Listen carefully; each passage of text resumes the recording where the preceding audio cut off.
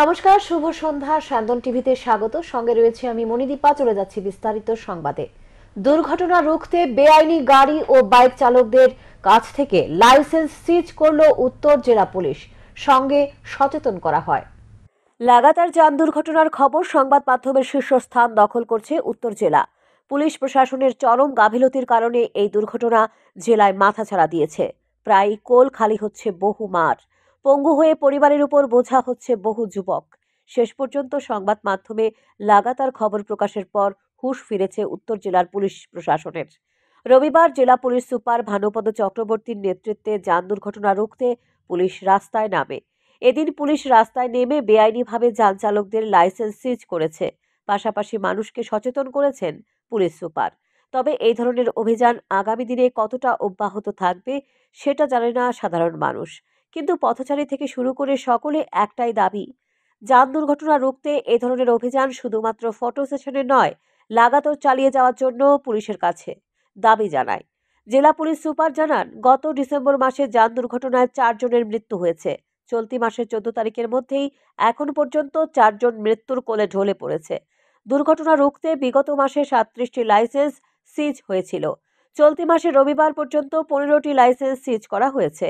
যারা মাদকাসক্ত অবস্থায় এবং হেলমেটহীন বাইক চালিয়েছে, তারাই অধিকাংশ দুর্ঘটনার শিকার হচ্ছে।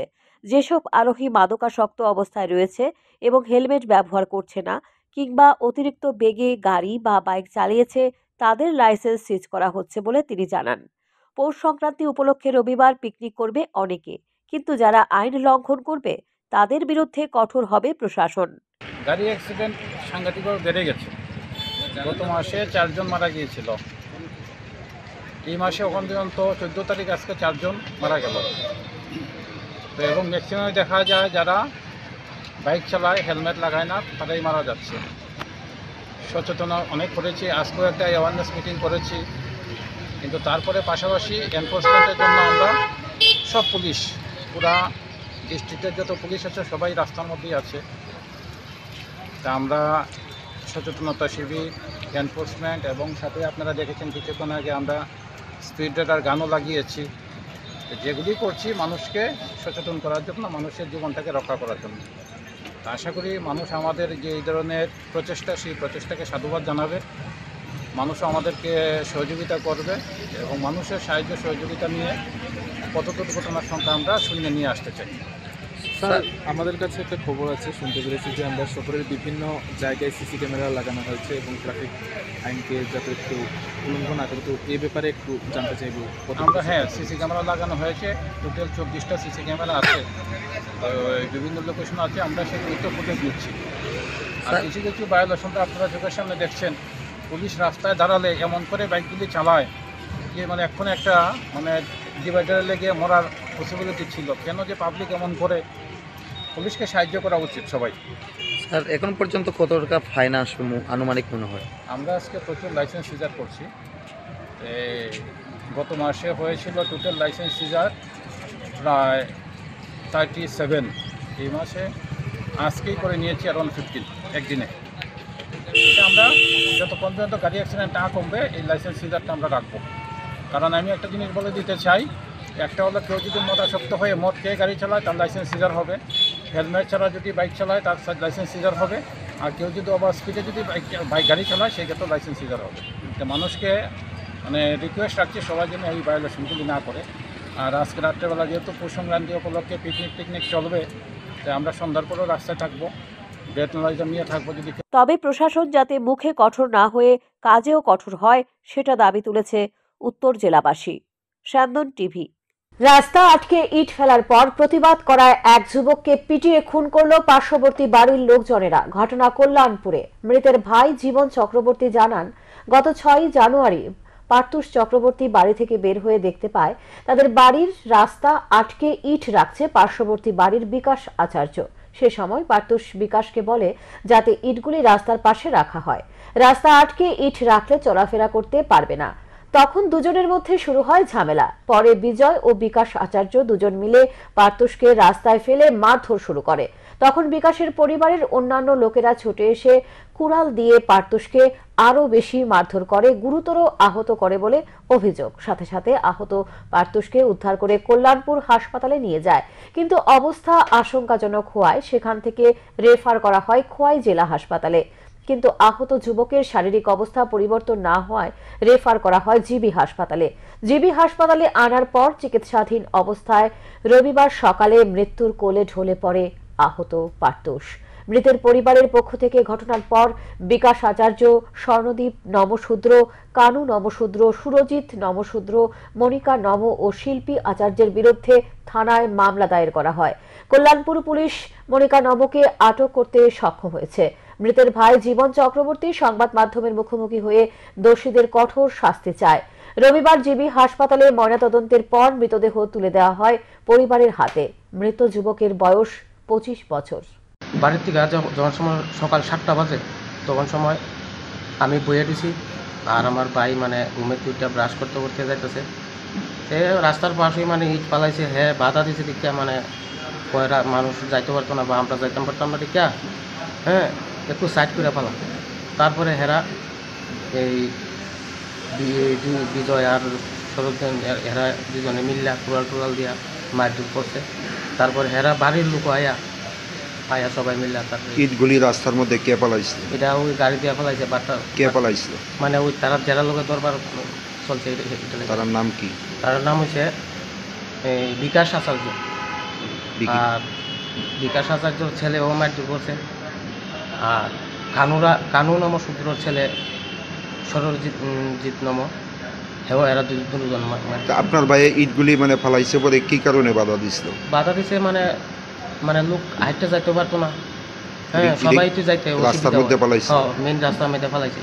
তো হ্যাঁ পয়সা দিকে মানে সাইড করে ফেলা দিকে হেরে আয়া দুইরা সবাই মিলে কতজনে মিলে মারধর করছে দুজনে হেরা দুজনে মারছে সবচেয়ে বেশি আর হ্যাঁ তারপরে হেরা পরিবার সহ আয়া মাটি কি দিয়ে মারধর করছে? কুড়াল টুরাল লইয়া ইয়ে করছে। কুড়াল এরপরে বাঁশ এটা দিয়ে। এরপরে পরে আপনারা কোন হাসপাতাল নিয়েছেন আমরা হাসপাতাল নিচ্ছি কল্যাণপুর হাসপাতাল। রাখিয়া কেন রাখছি দুই দিন। তারপরে কুয়াই কুয়াই রাখা হয়েছে তিন দিন। তারপরে আবার কালকে আইন- হচ্ছে জিবি আজকে সকালে মারা গেছে।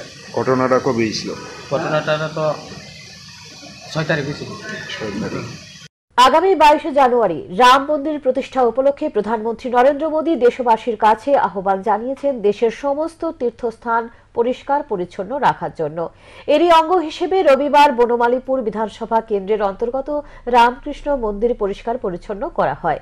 উপস্থিত ছিলেন প্রদেশ বিজেপি সভাপতি রাজীব ভট্টাচার্য। সঙ্গে ছিলেন স্থানীয় বিজেপি কর্মী সমর্থকরা। প্রদেশ বিজেপি সভাপতি জানান, প্রধানমন্ত্রীর আহ্বানে সাড়া দিয়ে রাজ্যে এই কর্মসূচি হাত নেওয়া হয়েছে। মুখ্যমন্ত্রী এই কর্মসূচিতে অংশ নিয়েছেন। আগামী বাইশে জানুয়ারি পর্যন্ত প্রধানমন্ত্রীর আহ্বানে বিভিন্ন তীর্থস্থান এভাবে পরিষ্কার পরিচ্ছন্ন রাখা হবে বলে জানান প্রদেশ বিজেপি সভাপতি। আপনারা সবাই অবগত আছেন যে আগামী বাইশে জানুয়ারি আমাদের অযোধ্যার রামলালার মন্দিরের প্রাণ প্রতিষ্ঠা হতে চলছে। তো এই রামলালা মন্দির, আমাদের সনাতন ধর্মের যে প্রাণপ্রিয় পুরুষ রাম ওনার স্বমহিমায় উনি অযোধ্যায় ফিরছেন। তো সেই উপলক্ষে আমাদের ভারতবর্ষের যশস্বী প্রধানমন্ত্রী উনি আহ্বান করেছিলেন যে মকর সংক্রান্তির দিন থেকে, অর্থাৎ চোদ্দ জানুয়ারি থেকে বাইশ জানুয়ারি পর্যন্ত আমাদের তীর্থক্ষেত্রগুলিতে স্বচ্ছতা অভিযানের উনি আহ্বান করেছিলেন সারা ভারতবাসীর কাছে। তারই অঙ্গ হিসাবে আমরা ভারতীয় জনতা পার্টিও নির্ণয় করেছি যে লাগাতর এই আজকে থেকে লাগাতর বাইশ তারিখ অবধি আমাদের ত্রিপুরা রাজ্যের সমস্ত তীর্থক্ষেত্রগুলিতে আমরা এই সাফাই অভিযান আমরা অংশগ্রহণ করব। তো তারই অঙ্গ হিসাবে আজকে আমরা রামকৃষ্ণ মিশন ধলেশ্বর, সেখানে আজকে এই সাফাই অভিযান আমরা নয়বনমালীপুর থেকে শুরুয়াত করেছি। কৈলাসশহর গোবিন্দপুর এলাকায় পুরনো ঐতিহ্যকে আঁকড়ে ধরে রাখতে বুড়ির ঘর তৈরি করা হয়। মূলত গ্রাম বাংলার পুরাতন ঐতিহ্য কিংবা সংস্কৃতিকে আগামী প্রজন্মের কাছে তুলে ধরতেই বৃহৎ আকারের বুড়ির ঘর গ্রামবাসী নির্মাণ করেছে। আজকের যুব সমাজ শুধুমাত্র মোবাইল কিংবা অন্যান্য ডিজিটাল মাধ্যমে আকৃষ্ট। আর তাই যুব সমাজের কাছে সুষ্ঠু বার্তা দিতেই এই উদ্যোগ বলে জানান গোবিন্দপুরের বাসিন্দা শুভাশিস চৌধুরী। তিনি জানান, প্রায় চল্লিশ হাজার টাকা ব্যয় করে তৈরি হয়েছে তিনটি বুড়ির ঘর। যার মধ্যে একটি উন্মুক্ত থাকবে শিশুদের জন্য, যাতে শিশুরাও এখানে খেলাধুলা করতে পারে। পাশাপাশি একটি রান্নাঘরও তৈরি করা হয়েছে। সেখানে বুড়ির ঘরকে কেন্দ্র করে করা হয় বিভিন্ন রকমারি রান্না এবং অন্য ঘরটিতে পিকনিকের আমেজে গান বাজনা থেকে শুরু করে হবে আনন্দ উল্লাস। শহরের বুকে এই ধরনের বড় পরিসরে বুড়ির ঘর তৈরি করে এক অন্য বার্তা দিলেন গোবিন্দপুরবাসী। প্রায় পঁয়তাল্লিশ জন সদস্যদের সমন্বয়ে আমরা বুড়িগড় পালন করতে যাচ্ছি মকর সংক্রান্তি উপলক্ষে। আপনারা অবশ্যই জানেন যে মকর সংক্রান্তির দিনে সূর্য দেবতা গ্রহের রাজা হন। এবং ধনুরাশি থেকে বেরিয়ে তিনি মকর রাশিতে প্রবেশ করেন। সেটাকে মকর সংক্রান্তি হিসাবে আমরা পালন করি। ভারতবর্ষে তথা বিভিন্ন জায়গায় বিভিন্ন জাতিগোষ্ঠী এই দিনটাকে বিশেষভাবে পালন করে থাকেন। নানা উৎসব ভারতবর্ষব্যাপী সেটা হয়। বিভিন্ন রাজ্যে বিভিন্ন ভাষাভাষী জাতিগোষ্ঠীর মধ্যে বিভিন্ন রকমের নাম তার রয়েছে এই উৎসবে। আমরা বাঙালিরা মকর সংক্রান্তি হিসাবে সেটাকে আমরা পালন করি।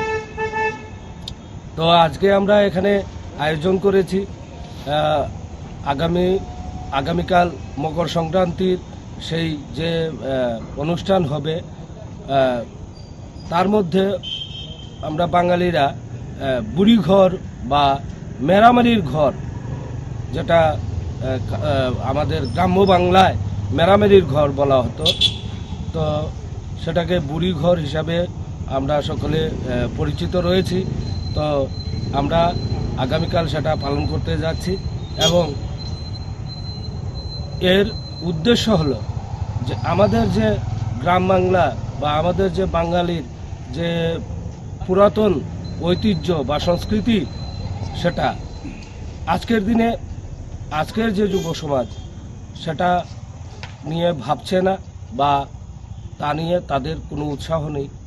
সেই ক্ষেত্রে আমাদের এই উদ্যোগ যাতে সবাই আমাদের এই উদ্যোগকে দেখে এবং আগামী দিনে এই যে আমাদের যে বাঙালির যে চিরাচরিত ঐতিহ্য এবং প্রথা, সেই নিয়ে তারা যাতে সেটাকে কন্টিনিউ করে।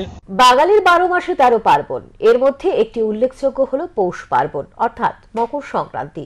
এই পৌষ পার্বণকে কেন্দ্র করে বাঙালির ঘরে ঘরে চলে পিঠেপুলির আয়োজন। আর এই আয়োজনকে কেন্দ্র করে ঘরে ঘরে বাড়ির উঠোনে চলছে আলপনা প্রতিযোগিতা।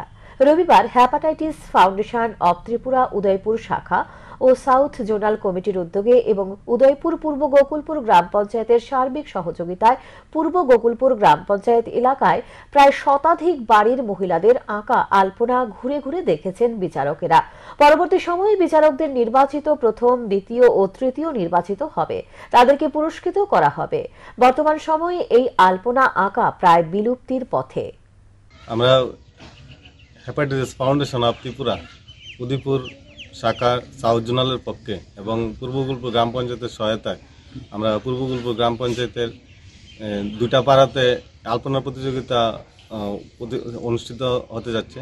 যেই প্রতিযোগিতার আমরা একশোটা বাড়ির প্রথমে সিলেকশন করেছি। আর দীর্ঘদিন ধরে আমি ছোট থাকতেই দেখেছি যে আমার মা, আমার দিদারা তারা পুষ সংক্রান্তি উপলক্ষে তারা আলপনা করতেন। তো আমরা এই হেপাটাইটিস ফাউন্ডেশনের পক্ষ থেকে এবং আমরা পঞ্চায়েতের সহায়তায় যে এই শিল্প যাতে আগামী ভবিষ্যতে আরও বর্ধিত হয় এই উপলক্ষে আমরা এই আলপনা প্রতিযোগিতা করতে যাচ্ছি। আমি রাজ্যবাসীকে আবেদন রাখব যে আমাদের পূর্বগল্প আসতে এবং এই আলপনা প্রতিযোগিতায় অংশগ্রহণ করতে, আলপনা- আলপনা প্রতিযোগিতা দেখতে এবং আমাদের গ্রামে একটি সায়েন্স সেন্টার ফর্টিকালচারের একটা ফ্লাওয়ার হাউস হতে যাচ্ছে এবং একটা সুন্দর একটা নেচার পার্ক আছে। আপনারা আসুন ঝুলন্ত ব্রিজ সংলগ্ন- পূর্ব গুলপুর গ্রাম পঞ্চায়েতে। আগরতলার এগিয়ে চলো সংঘ মাঠে রবিবার অনুষ্ঠিত হয় একদিনের সপ্তম ভারত বাংলাদেশ ছবি ও কবিতা উৎসব। ছবি ও কবিতা ও এগিয়ে চলো সংঘের যৌথ উদ্যোগে আয়োজিত এই অনুষ্ঠানে প্রধান অতিথি হিসেবে উপস্থিত ছিলেন বাংলাদেশ সহকারী হাই কমিশনার আরিফ মাহমদ। ত্রিপুরা তথ্য ও সংস্কৃতি দপ্তরের অধিকর্তা বিম্বিসার ভট্টাচার্য, ছবি ও কবিতা উৎসবের সম্পাদিকা স্মিতা ভট্টাচার্য। এগিয়ে চলো সংঘের অন্যান্যরা। দিনভর রাজ্যের বিশিষ্ট কবি ও বাচিক শিল্পীদের পরিবেশনা থাকছে এই মঞ্চে। কিন্তু দুঃখের সঙ্গে বলতে হয় যে একটা সময় পরে কিন্তু এই বাচ্চারা সে আগ্রহগুলো তাদের থাকে না। না থাকার মূল কারণটা আসলে কি? এটা আমরা সবাই জানি যে এখানে কোনো ফিউচার দেখে না। মানে এটা তো এন্ড নাই। মানে একটা আলটিমেট অ্যাকমপ্লিশমেন্ট নাই। আজকে এইখানে একটা অনুষ্ঠান হইতেছে, এইখানে যে বেস্ট পারফরমার হবে, এইখানে যারা ভালো পারফর্ম করবে, তার নেক্সট কি? তার নেক্সটটা কোথায়? মানে তার তার যদি ভালো একটা অ্যাওয়ার্ড থাকতো, ভালো একটা অবস্থান যদি যাওয়ার একটা রাস্তা হতো, তাহলে এটা হতে পারে যে বাচ্চাদেরকে নিজে থেকে অনুপ্রাণিত করতে হবে, এই কাজের প্রতি বা এই চেষ্টাগুলোর প্রতি আরও গভীর মনোযোগ দেওয়া এইটা একটা জরুরি বিষয় যে আমি, গত বহু প্রোগ্রামে অংশগ্রহণ করেছি। কাছে যে রাজ্যের বিষয়টা বিশেষভাবে বিবেচনা করা উচিত, যে প্রোগ্রামগুলোতে যখনই বাচ্চারা পারফর্ম করছে যারা এই ভালো পুরস্কার প্রাপ্ত হচ্ছে তাদেরকে তাদেরকে আরেকটু হায়ার লেভেলে তাদেরকে সম্মানিত করা অনুপ্রেরণা দেওয়া মোটিভেশন মোটিভেশন দেওয়া এখনকার মতো সংবাদ এখানে শেষ করছি। পরবর্তী সংবাদ দেখবার জন্য চোখ রাখুন স্যান্দন টিভির পর্দায়। নমস্কার।